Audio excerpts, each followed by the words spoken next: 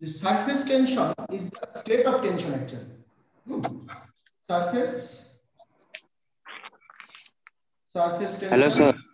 Ah. Surface tension is the state of tension. State of tension. What is state of tension? Always দেখো তোমাদের exam চলে আসছে হ্যাঁ তোমাদের কি পড়া হয়েছে কি পড়া হয়নি এই নিয়ে তোমরা টেনশনে আছো তাই একদম, এই টেনশনটা এই টেনশন একই রকম। সারফেস যে কোনো লিকুইড যখন থাকে, তার যে সারফেসটা থাকে, সেই সারফেসের মলিকুল একটা টেনশনে থাকে। বুঝলে? এই কারণে আমরা কি বলছি? Surface is a state of tension হুম? তাহলে এটা, সে তো বুঝলাম। সারফেসের স্টেট অফ টেনশন মানে সারফেসের মলিকুলগুলো অলওয়েজ টেনশনে থাকে। কি টেনশন থাকে তাদের? তাদের টেনশনটা কি? তার টেনশনটা হলো যে এই যে একটা ধরো সারফেস এইখানকার মলিকুলটা এইখানকার মলিকুলটা কখন কি করবে নিজেরা বুঝে উঠতে পারছে না। কেন? কারণ ওর যে বাল্ক মলিকুলগুলো আছে এখানে, আর একদম সারফেসে যারা আছে মানে অ্যাকচুয়ালি আমাদের ইন্ডিয়া বর্ডারের মতো, বুঝলে? ইন্ডিয়া বর্ডারের মতো, যারা একদম বর্ডারে যারা মিলিটারিরা আছে হ্যাঁ ফোর্স যারা আছে তাদের যে কন্ডিশনটা সবসময় তাদের মনে হচ্ছে এই বুঝি মারামারি লেগে গেল, এই যুদ্ধ যুদ্ধ লেগে গেল, এই না? অর্থাৎ তারা টেনশনে আছে। আবার আমরা তাদেরকে কি করছি? উৎসাহিত করছি। যে না, তোমরা থাকো, অসুবিধা নেই, ভালো আছো। হ্যাঁ ঠিক আছে, তোমরা তো আমাদের দেশের সম্পদ। এই, কিন্তু তাদের মনের মধ্যে সবসময় একটা টেনশন থাকে। হুম? যে এই এই বুঝি আমাদের যুদ্ধক্ষেত্রে যেতে হবে, এই বুঝি আমাদের এটা করতে হবে, ঠিক আছে? অর্থাৎ সেরকমই যে এই যে আমাদের লিকুইড এই লিকুইডের যে সারফেসে মলিকুলগুলো আছে, সেই সারফেসের মলিকুলগুলো অলওয়েজ একটা টেনশনে আছে। কেন? সেই মলিকুলটা এই বাল্ক সারফেস থেকে কি অন্য জায়গায় চলে যাবে?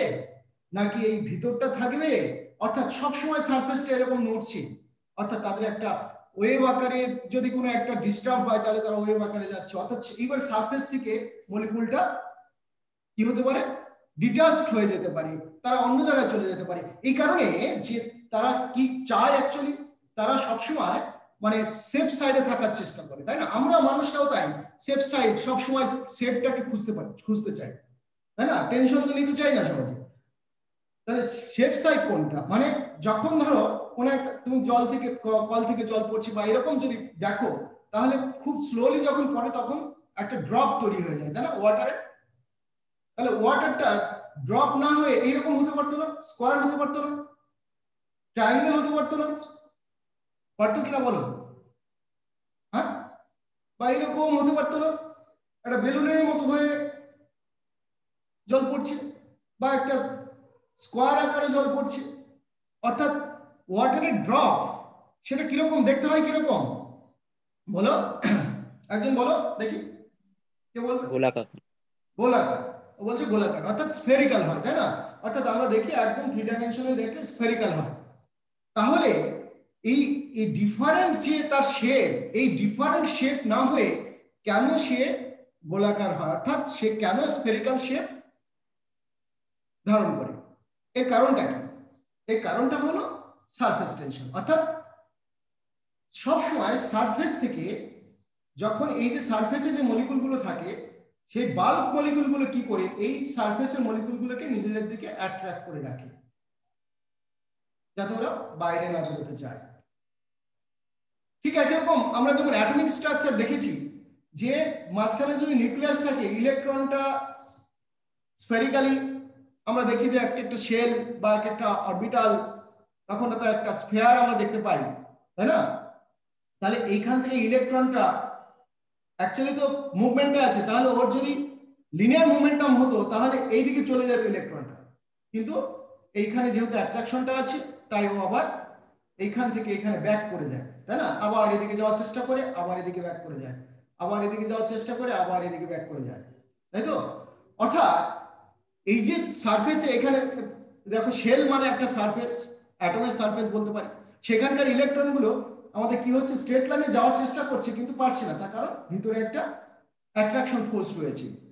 আমরা সেন্টিপিটাল ফোর্স বলতেই পারি, তাই না? তাহলে centripetal force and centrifugal force same হওয়ার জন্য ওরা একটা স্ফেরিক্যালি অর্থাৎ আমরা বলি যদি আমরা ফার্স্টে বলি সার্কুলার পাথে তাই না? স্টেশনের অরবিট কিন্তু আমরা থ্রি ডাইমেনশনে বললে স্ফেরিক্যালিও রিভলভ হয়। ঠিক এরকম ওয়াটার মলিকুলগুলোর যে সারফেসে মলিকুলগুলো থাকে, তাদের ইন্টার মলিকুলার অ্যাট্রাকশন সেটা খুব হাই বাইরে মলিকুল নেই, তাহলে এইদিকে অ্যাট্রাকশন হচ্ছে না। হচ্ছে কোথায়? এই সারফেস থেকে তার ভিতরের দিকে সারফেস থেকে তার ভিতরের দিকে অ্যাট্রাকশন ফোর্স হচ্ছে। অর্থাৎ সেই কারণে আমরা বলতে পারি যে এটা স্ফেয়ার শেপ ধারণ করছে, এই তো? তা আমরা যদি বাল্ক ওয়াটার মলিকুল নেই, দেখি, একটা একটা কন্টেনার নিলাম, সেখানে আমরা প্রচুর মলিকুল দেখতে পাচ্ছি সব আছে। কিন্তু যখন এই জায়গায় একটা মলিকুল তার মানে এই মলিকুলটাকে আমাদের সব দিক থেকে অ্যাট্রাক্ট করছে। এখানকার মলিকুল এখানকার মলিকুল এখানকার মলিকুল সব দিকে অ্যাট্রাক্ট করছে বা ও সবাইকে অ্যাট্রাক্ট করছে। অর্থাৎ প্রত্যেকটা এক একটা স্পেয়ার তৈরি হবে। অ্যান্ড যখন এই সার্ফেসে থাকবে, তখন এই মলিকুলটা জাস্ট কি হচ্ছে? যে এইখানকার মলিকুলকে অ্যাট্রাক্ট করছে, এখানকার মলিকুলকে অ্যাট্রাক্ট করছে, এখানকার মলিকুলকে অ্যাট্রাক্ট করছে। হ্যাঁ? ও বাইরের দিকে কোনো অ্যাট্রাকশন ফিল করছে না। সে কারণে ও কি করবে? প্রত্যেকটা সার্ফেসই আস্তে আস্তে স্পেয়ার হতে থাকবে। ভিতরের দিকে গুটি মেরে থাকবে। তো যাই হোক, তাহলে this is the surface phenomenon and আমরা যদি এটা ডেফিনেশন আকারে দিতে যাই, তাহলে আমরা কি বলি? সারফেস টেনশন হ্যাঁ? Surface tension is a measure of measure of the work work that must be done to expand the surface of a liquid by unit area under, isothermal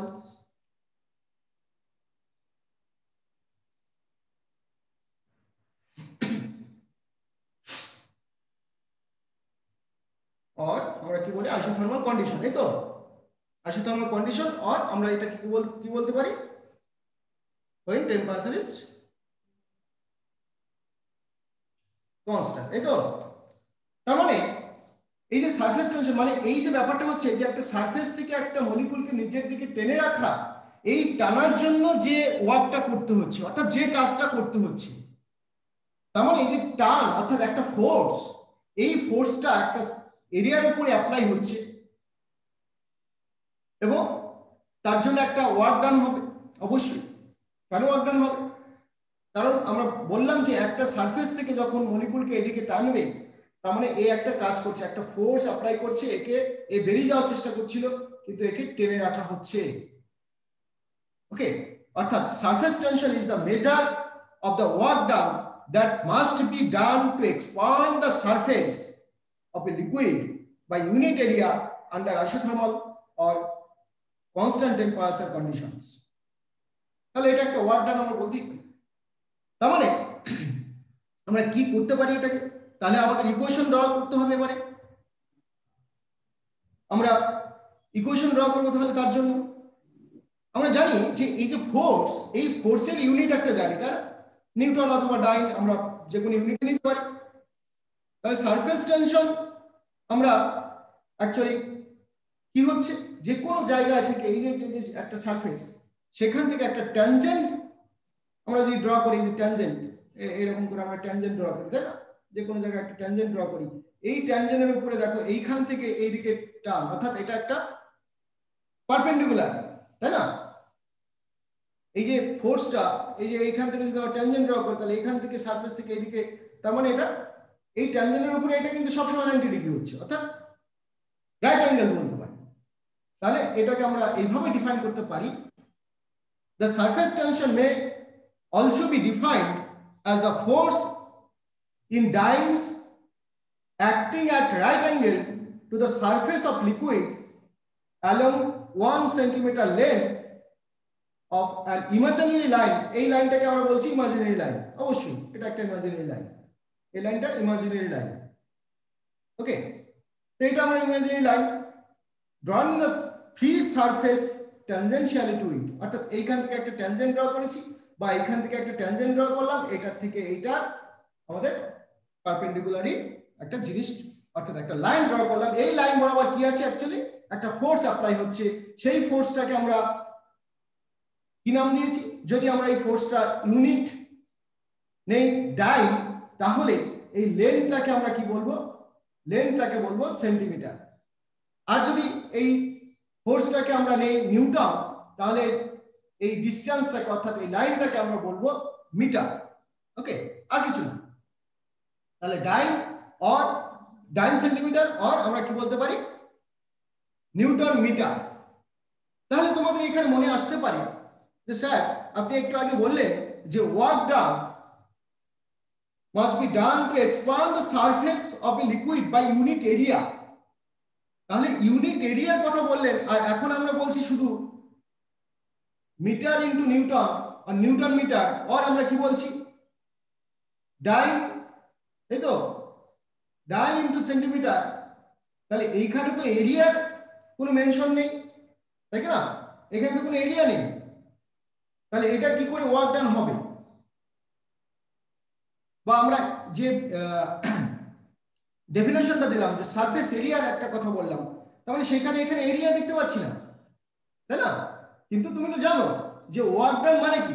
force into displacement তাই না? তাহলে এটা force আছে, এটা displacement আছে। তাহলে এটা একটা ডান এবার আমরা এখানে এরিয়াটাকে ঢুকাবো যখন, তখন আমরা এনার্জি পাবো অবশ্যই। তাহলে সেটা কীভাবে ঢুকাবো এখানে? সেন্টিমিটারের জায়গায় আমরা একটা এরিয়া ঢুকাতে পারব। বুঝে গেছে? সেটা আমরা কীভাবে নেব দেখি। এবার দেখো, যে আমরা যদি এইরকম একটা ইকুয়েশন নেই ডান সেন্টিমিটার সেটা তো আমরা বললাম যে আমাদের সারফেস টেনশন এবারে আমরা যদি একটা জিনিস নেই সারফেস এনার্জি সারফেস এনার্জি ব্যাপারটা কি নেব? তাহলে আমরা কি দেখলাম এখানে? আমরা দেখলাম যে সারফেস এনার্জি যখন বলব, তখন আমরা কি বলব? যে জুল পার মিটার স্কোয়ার আমরা অলরেডি বলেছি যে কতটা এনার্জি লাগছে পার এরিয়াতে ঠিক আছে? কতটা এনার্জি লাগছে? অর্থাৎ ওয়ার্ক ডান মানে হলো এনার্জি বলতে পারি। সেখানে আমরা ফোর্স বলছি না। বোঝা গেছে? যে আমরা বলছি যে work done per unit area তার মানে এখন আমরা ওয়ার্ক ডান যেটা পেলাম ওয়ার্ক ডান মানে হলো ডান সেন্টিমিটার ডান সেন্টিমিটার অথবা নিউটন মিটার, তাই না? এবার আমরা বলেছি যে এই ওয়ার্ক ডানটা ডেফিনেশনটা কীভাবে পাল্টে দিলাম একটু দেখো। ফার্স্টে বলছি যে এই মলিকুলটাকে এইদিকে টানার জন্য এইটা আমাদের ট্যানজেন্ট ছিল, তার উপর পারপেন্ডিকুলার যদি একটা ফোর্স অ্যাপ্লাই হয় এবং যদি ও এই ফোর্সটা কোথা থেকে অ্যাপ্লাই হচ্ছে, এই মলিকুলটা থেকে, এই মলিকুলটার ডিস্টেন্স যদি আমাদের সেন্টিমিটারে হয় আর এই ফোর্সটা যদি আমাদের ডাইন হয়, তাহলেও সারফেস টেনশন কত হলো? ডাইন ইন্টু সেন্টিমিটার আবার আরেকটা ডেফিনেশন অলরেডি দিয়েছি, যে work done per unit area তাতে কোনো প্রবলেম নেই। যে এই মলিকুলটাকে এই মলিকুলের কাছাকাছি একটুখানি নিয়ে আসার জন্য যে কাজটা হবে মানে বাইরে যাতে না যায়, তার জন্য যে ফোর্সটা অ্যাপ্লাই করা হয়েছে, তার জন্য যে কাজটা করা হয়েছে ওয়ার্ক ডান করা হয়েছে সেইটাকে আমরা বলছি সারফেস টেনশন তাহলে আমরা বলছি ওয়ার্ক ডান ওয়ার্ক ডান তো work done per unit area তাহলে আমরা কি বলতে পারি? আমরা বললাম ডাইন ইন্টু সেন্টিমিটার এরিয়া তাহলে কি হবে? সেন্টিমিটার স্কোয়ার তাতে আমরা কি দেখতে পাচ্ছি? তাতে আমরা কি দেখতে পাচ্ছি দেখো? যে ডাইন পার সেন্টিমিটার, ডাইন পার সেন্টিমিটার। বোঝা গেছে? অর্থাৎ ডাইন পার সেন্টিমিটার, এটাই হলো আমাদের তাহলে কি? সারফেস টেনশন অর্থাৎ কি দেখলাম? এইখান থেকে বা এই যে মলিকুলটা বা এই যে আমরা সারফেস নিলাম, এই মলিকুলটা এখানে ট্যানজেন্ট বরাবর এই দিকে টেনে রাখার জন্য এদিকে যদি ডাইন হয়, যে ফোর্সটা অ্যাপ্লাই আছে ডাইন হয়, এটা যদি সেন্টিমিটার হয়, তাহলে ডাইন পার সেন্টিমিটার এটাই হবে আমাদের সারফেস টেনশন অথবা যদি আমরা এটাকে নিয়ে নিয়ে এইরকম করে সরি যে work done per unit area তখন আমরা পাচ্ছি এটাই তো ডেফিনেশনটা এইভাবে আমরা দিতে পারি। ওকে তাহলে সারফেস এনার্জি তাহলে সারফেস এনার্জি ব্যাপারটা কি? সারফেস এনার্জি এটাই। এটাই সারফেস এনার্জি কেন সারফেস এনার্জি এটা? কারণ সারফেস এনার্জি যখন আমরা ডেফিনেশন দেবো দ্য ওয়ার্ক ডান একই কথা বলব the work done that is required to be done at constant temperature in order to expand the surface of liquid by unit area, একদম সেম অর্থাৎ আমাদের surface tension surface energy surface tension and surface energy ডেফিনেশনটা same তাহলে পার্থক্য কোথায়? পার্থক্য কোথায় রইল? ইউনিটটাও same আমরা বলতে পারি। কিন্তু আমরা লেখার ক্ষেত্রে যখন লিখব যদি আমরা ওয়ার্ক একদম তখন আমরা এইভাবে ওয়ার্ক ডান ওয়ার্ক ডান হ্যাঁ পার ইউনিট এরিয়া এভাবে বলব। এটাকেই দেখো, এটাকে আমরা ভেঙে দিলেই আমরা পাচ্ছি। যে ফোর্স ইন্টু ডিসপ্লেসমেন্ট এটা যদি আমাদের ওয়ার্ক ডান হয়, তাহলে এটা ফোর্স ইন্টু ডিসপ্লেসমেন্ট সেন্টিমিটার আর এদিকে হয়ে গেল সেন্টিমিটার ইন্টু সেন্টিমিটার আমার সেন্টিমিটার সেন্টিমিটার কেটে গেল। তার ফোর্স পার লেন্থ এটাই আমাদের সার্ফেস টেনশন অথবা আমরা এটা বলতে পারি work done per centimetre square তাহলে দুটো ইউনিট আমরা ইউজ করতে পারি। তোমাদের যে কোনো ইউনিট দিলেই তোমরা বুঝতে পারবে এটা। এবং ম্যাথমেটিক্যাল প্রবলেম করতে হবে। যে আমাদের যদি ফোর্স পার ইউনিট লেন্থ দেয়, তাহলে বুঝতে পারবে যে এটা আমাদের সার্ফেস টেনশন বা আমরা এটা সার্ফেস এনার্জিকে কনভার্ট করতে পারব দুই দিক উপরে নিচে যদি আমরা লেন দিয়ে মাল্টিপ্লাই করি। এই গেল। এবারে মেজারমেন্টের ক্ষেত্রে আমাদের অনেকগুলো মেজারমেন্টের মেথড আসবে। তার মধ্যে আমরা ল্যাবরেটরি মেথডে একটা আছে।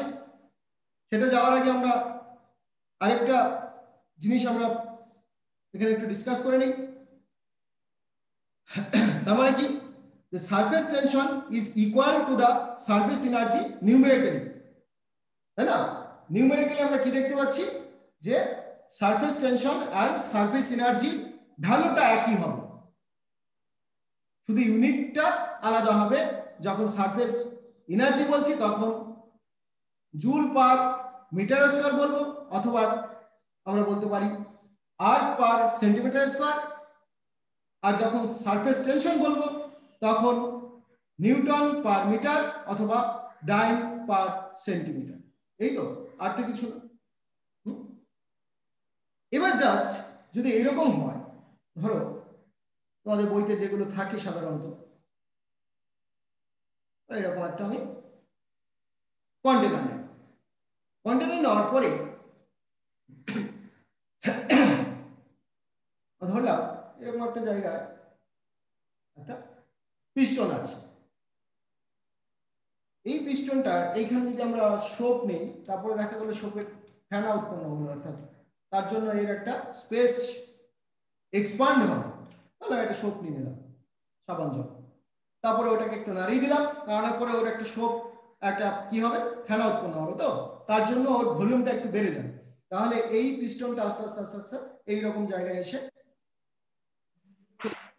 তাহলে ডিএক্স পরিমাণ এটা যদি তার ডিস্টেন্স চেঞ্জ হয়, তাই তো? ডিস্টেন্স চেঞ্জ হবে। তার মানে এইখানকার ভলিউমটা ইনক্রিজ করল অ্যাকচুয়ালি তার মানে যেরকম ওয়ার্ক ডান, আমরা থার্মোডাইনামিক্সে করি অ্যাকচুয়ালি সেরকমই হলো। তো এখানে আমরা কি দেখলাম? যে আমরা যদি দেখি যে এই লেন্থটা কনসিডার এই থিন ফিল্মটা অর্থাৎ এই থিন ফিল্মটা একটা সোপের space on the wire frame and that has movable piston of length L অর্থাৎ এই জিনিসটা এই যে, এই জিনিসটাকে আমরা স্মল এল বলছি, ঠিক আছে? তাহলে এটা একটা মুভেবল পিস্টন এটা এটা একটা মুভেবল পিস্টন যার লেন্থ কিনা এল আমরা ডায়াগ্রামে দেখাচ্ছি। এবারে the force force to stress the fin by moving the piston is proportional to L, actually তাহলে তুমি কি করবে? তুমি যদি ফোর্স অ্যাপ্লাই করো পিস্টনটাকে যদি তুমি এই পিস্টনটাকে যদি সরাতে চাও, তাহলে অবশ্যই যত বেশি ফোর্স তুমি অ্যাপ্লাই করবে, তাই না? যত বেশি ফোর্স তুমি অ্যাপ্লাই করবে, তত কি হবে? এটার মুভমেন্টটা বাড়বে ইনক্রিজ করবে। এবারে আমরা যদি দেখি এরকম একটা জিনিস, এই ফিল্মটা দুটো সাইড ধরলাম, তাই না? দুটো সাইড মানে এটা কি? দুটো সাইড মানে এই যে এটা নিয়েছি, তাহলে এটা দুটো সাইড এদিকে একটা সাইড হতে পারে, এদিকে সাইড হতে পারে। দুটো সাইড যদি নেই, তাহলে দুই দিকে যদি আমাদের লেন্থটা ইনক্রিজ করে যায়, তাই না? তাহলে আমরা কি দেখতে পাবো? ফোর্সটা প্রপোর্শনাল টু টু এল হয়ে যাবে। অর্থাৎ তুমি যদি ফোর্স বেশি অ্যাপ্লাই করো, তাহলে লেন্থটা বাড়বে। ইনক্রিজ করবে। সেই কারণে আমরা এটা বলতে পারি? যে স্যার স্যার আর একটু বলুন। হ্যাঁ আমরা বলছি দেখো যে এই যে পিস্টনের এই যে একটা লেন্থ নিয়েছি এই লেন্থটাকে আমরা যদি এল বলি ঠিক আছে? তাহলে এটা দুটো সাইড আছে হ্যাঁ? তাহলে দুটো সাইড যদি হয় তাহলে আমরা তো অ্যাকচুয়ালি কি বলছি? যে দিক থেকে দেখো এই মলিকুল এইদিকে টান এদিকে টান এদিকে টান এদিকে টান এদিকেও তাই সবগুলোর একটা মলিকুল এদিকে টানছে না? সবাই ভিতরের মলিকুলগুলো এভাবে টানছে, তাই না? ব্যাপারটা? তারপরেও সেটাকে ওভারকাম করে যদি আমরা ডিএক্স পরিমাণ এইদিকে সরে যায় তাহলে এই যে দুটো সাইড থেকে যে টান, অর্থাৎ যে টেনশন যদি হয় ফোর্স অ্যাপ্লাই হচ্ছে। ধরো এই মলিকুলগুলোর উপরে অ্যাপ্লাই হচ্ছে। তাহলে আমরা কি দেখতে পাবো? Force is proportional to length তাহলে এদিকে দুই দিকে লেন্থ আছে, এদিকেও এদিকেও আমরা বলছি। তাহলে আমরা টুয়েলভ দেখতে পাবো যে force directly proportional to this twelve এরপরে আমরা কি দেখতে পাচ্ছি? ফোর্স এই প্রপোর্শনাল সাইনটাকে তুলে দিলে কি হবে? ইকুয়াল হবে। ইকুয়াল সাইন দেবো আমরা। তখন আমরা এখানে একটা কনস্ট্যান্ট নেব। সেটাকে আমরা গামা নিতে পারি। অ্যান্ড অবশ্যই গামা নেওয়া হয়। গামাই বলা হয় এটাকে। এই গামা, এটাকে আমরা বলি মানে ম্যাথমেটিক্যালি যখন বলছি this constant gamma is called surface tension of that liquid okay অর্থাৎ এই surface tension of that liquid এটাকে আমরা বলছি। এবারে আমরা যদি এইটাকে, যেটা বললাম, যে এই, এইখানে যে কন্টেনারটা ছিল যদি আমাদের এখান থেকে পিস্টনটা এইদিকে সরে যায় ডিএক্স পরিমাণ তার লেন্থটাকে বাড়িয়ে ফেলে, ভিতর থেকে তোমার একটা প্রেশার ক্রিয়েট হয়ে কিসের জন্য ক্রিয়েট হবে? কারণ ওখানে আমরা বলছি এটা শোক নিয়েছি, ওটা একটা ফেলা উৎপন্ন হলো বললাম। ঠিক আছে? The mechanical work done in moving the piston through a distance dx তাহলে এইখানে যদি আমরা ফোর্সটা আমরা এফ পেয়ে গেছি, যে ফোর্সটা অ্যাপ্লাই হচ্ছে, তারপরে এখান থেকে ডিএক্স পরিমাণ এই পিস্টনের মুভমেন্ট হয়েছে তাহলে আমরা ওয়ার্ক ডান কত পাবো? তাহলে ওয়ার্ক ডান কত হবে অ্যাকচুয়ালি ফোর্স ইন্টু ডিসপ্লেসমেন্ট তার মানে এফ ইন্টু এক্স ডিএক্স এখানে ডিএক্স নিয়েছি। এই ডিএক্সটা যদি মুভমেন্ট হয়, তাহলে এটা হবে আমাদের ওয়ার্ক ডান ঠিক আছে? অর্থাৎ এটা হলো আমাদের ওয়ার্ক ডান এবার আমরা অলরেডি এখানে একটু আগে দেখলাম যে ফোর্সটা অ্যাকচুয়ালি কত? ফোর্স হয়ে গেছে টু এল এর সঙ্গে প্রপোর্শনাল টুয়েলভ এর সঙ্গে প্রপোর্শনাল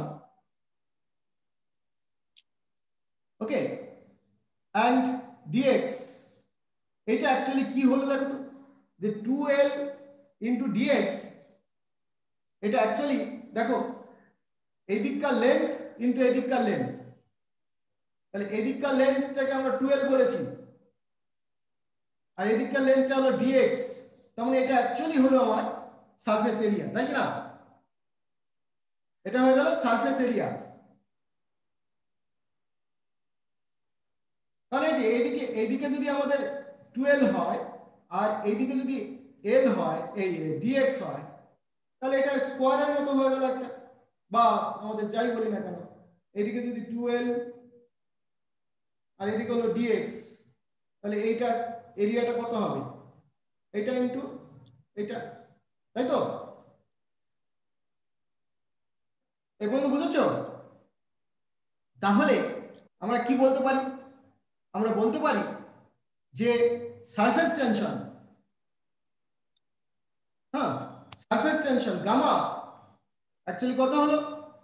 গামা হলো, এই যে ওয়ার্ক ডান কত? এফ ইন্টু ডিএক্স আর এরিয়া চেঞ্জ কত হলো? Twelve into dx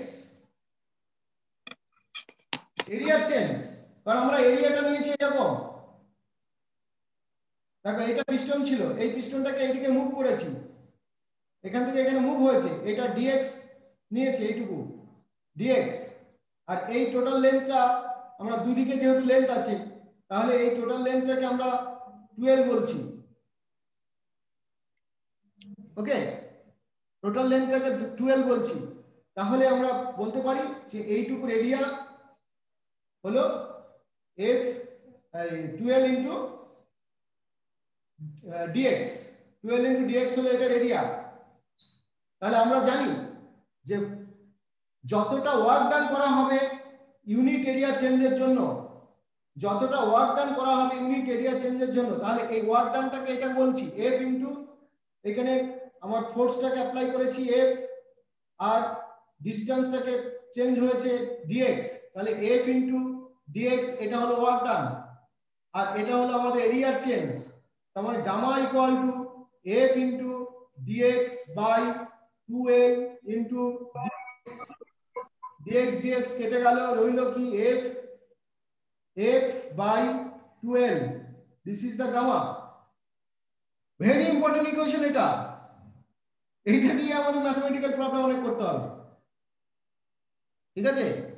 এইটা দিয়ে আমাদের ম্যাথমেটিক্যাল অনেক প্রবলেম করতে হবে। এবার লেখো, একটা প্রবলেম লেখো। The surface tension of water লেখো। Surface tension tension of water equal to 72.8 dyne centimeter inverse calculate calculate the energy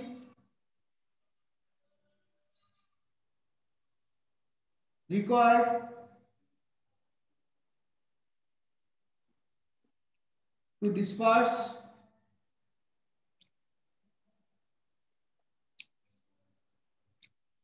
one spherical হ্যাঁ এনার্জি তারপরে energy to disperse P E R A C disperse a spherical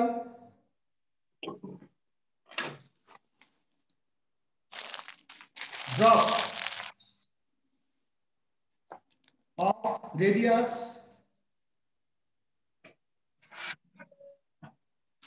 3 millimeter 3 millimeter into spherical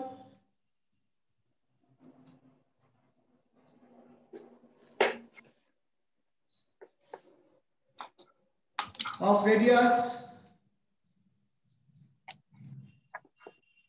3 into the power minus 3 millimeter. Okay. খুব easily করা যাবে এটা।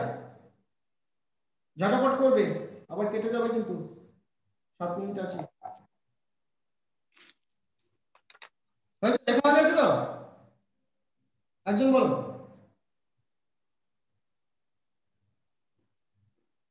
দেখো, আমাদের কি করতে হবে? একটা ড্রপের ভলিউম কত হয়? Volume of one drop sphere তাই তো?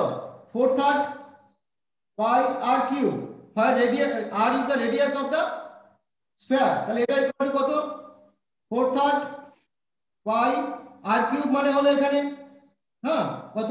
থ্রি এম এম এটা কিউব এটা এটা কিউব বললাম। থার্ড কত? ওয়ান ফোর থার্ড পাই পাইয়ের জায়গায় আমরা টোয়েন্টি টু বাই ওটা বসিয়ে দিই হ্যাঁ। টোয়েন্টি টু বাই সেভেন, এই তো? এটা বসে ইন্টু থ্রি তার স্কোয়ার বসিয়ে দিলাম। এই স্কোয়ার তো না, এটা কিউব হলো। ফোর থার্ড আর কিউব এটা কিউব তাহলে এটা হলো আমাদের কি? ভলিউম। এটার ভ্যালু কত হয়? Hundred three point thirteen point one four millimetre cube তাই না? এটা একটা হলো এবার তুমি কি করছ? কতগুলো ভেঙে দিয়েছ, ছোট ছোট। যার রেডিয়াস হলো three into ten to the power minus three millimetre তাহলে আমি ধরে নিলাম let consider let us the water water drop. Water drop. Split. Split into n droplets. N ড্রপে ভেঙে গেল হ্যাঁ? বড় একটা ড্রপ ছিল, সেখান থেকে অনেকগুলো এন খানা ড্রপ তৈরি হয়ে গেল। কতগুলো? এন খানা ঠিক আছে?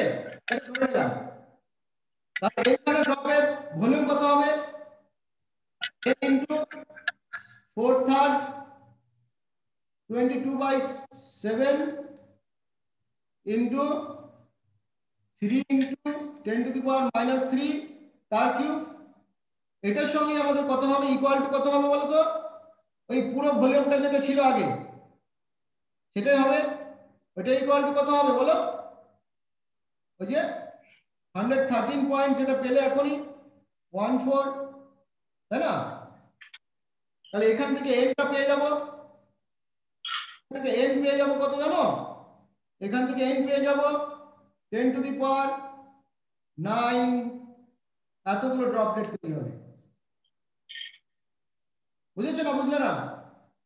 কারণ এটা বড় ড্রপের ভলিউম ছিল। এটা এন খানা ড্রপের ভলিউম এটা ইকুয়াল হবে। কারণ তুমি বড় একটা ভলিউম থেকে ছোট ছোট ভলিউমগুলো পেয়েছ। এবারে সারফেস এরিয়া কত? বড়টার সারফেস এরিয়া কত ছিল? Four into twenty two by seven into square এটা হলো তোমার সারফেস এরিয়া ওই যে ফোর পাই স্কয়ার একটা ফেয়ারের এরিয়া কত হয়? ফোর পাই আর স্কয়ার তাই তো? পাই আর স্কয়ার এটা হলো তার এরিয়া হয়। এবারে এন খানা ড্রপের এরিয়া কত? এটা ইকুয়াল টু কত হবে? এন খানা ড্রপের এরিয়া তার মানে four into twenty two point seven into three into ten to power minus three তার স্কোয়ার ইন্টু আমাদের কত? কতগুলো droplet ten to the power minus sorry nine এই তো? Ten to the power nine খানা ড্রপলেট তৈরি হয়েছে।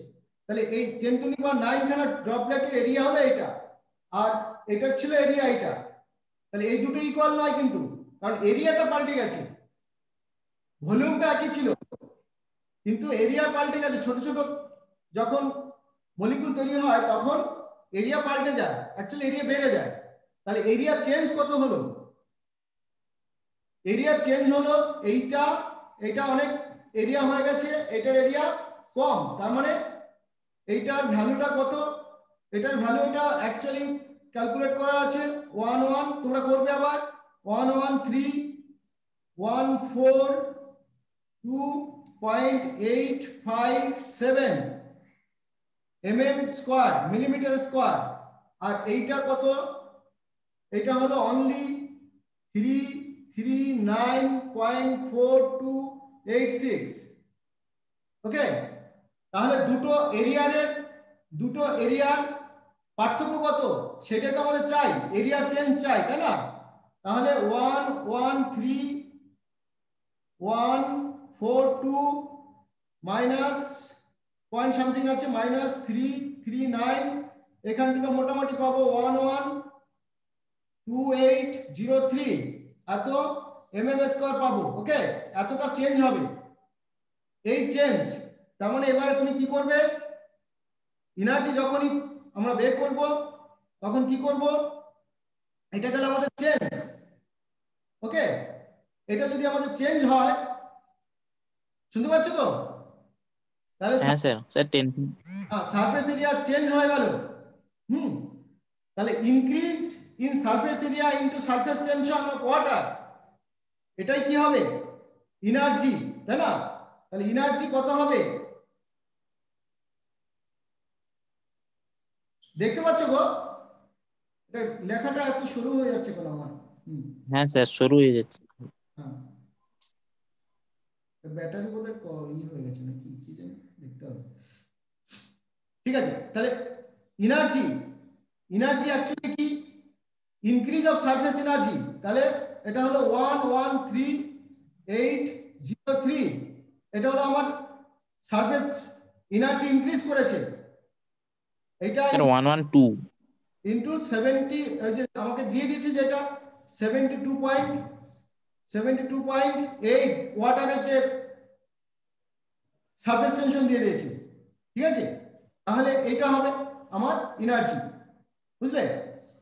কারণ সারফেস টেনশন ইকুয়াল টু কি? এনার্জি ডিভাইডেড বাই এরিয়া এই যে এটা এরিয়া ছিল তাহলে এনার্জি বাই এরিয়া এটাই ছিল আমার সারফেস টেনশন তাহলে এখান থেকে আমরা এনার্জিটা বের করলাম, কারণ আমরা এরিয়াটা পেয়ে গেছি। আর সারফেস টেনশনটা আমাদের জানা, তাহলে তার এনার্জিটা কত হবে? বোঝা গেছে? অর্থাৎ এইভাবে এই ফর্মুলাটা ইউজ করে আমাদের ম্যাথমেটিক্যাল প্রবলেম এর আগে দিয়েছে ইউনিভার্সিটি কোশ্চেনে দিয়েছে। অ্যান্ড এরপরে আমি আরও দুটো ক্লাস নিয়ে নেব তোমাদের ঝপাঝপের মধ্যে। কারণ তোমাদের পাঁচ তারিখের পরেই আমি এক্সাম নেব, ঠিক আছে? মানে ইন্টারনালটা হয়ে যাবে হ্যাঁ? পাঁচ তারিখের আগে অন্যদের এক্সাম নেওয়া হচ্ছে। তোমাদেরটা পাঁচ তারিখের পরে কিন্তু হয়ে যাবে। হ্যাঁ? বুঝতে পারলে? কারণ তোমাদের পাঁচ তারিখের মধ্যে তোমাদের রেজিস্ট্রেশনটা আছে, ওই হ্যাঁ রেজিস্ট্রেশনটা আছে বলে তোমাদের একটু ইয়ে করা হচ্ছে। ঠিক আছে? আদারওয়াইজ তোমাদের এর মধ্যে হয়ে যেত। ঠিক আছে? ঠিক আছে?